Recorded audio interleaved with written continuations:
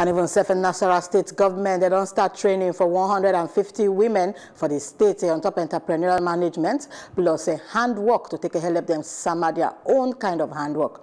The State Commissioner for Women Affairs, Halima Jabiru, for one interview with newsmen for Lafia, Sama said the training go expose the women to take learn different kind of uh, handwork. The benefic beneficiaries are from 13 local government areas for inside the state. We are going to expose them to processing of food, packaging of food, and so many things, bread making, cake making, salon, and the rest of it.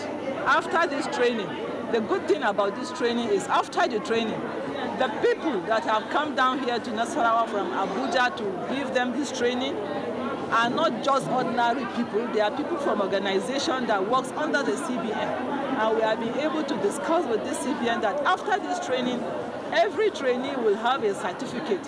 And that certificate is what will make you assess the facility that is available under CBN. And this facility is going to be given in uh, phases like 80% of the facility may come in equipment, then 20% of it will come in cash.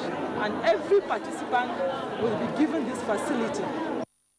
We are going to expose them to processing of food,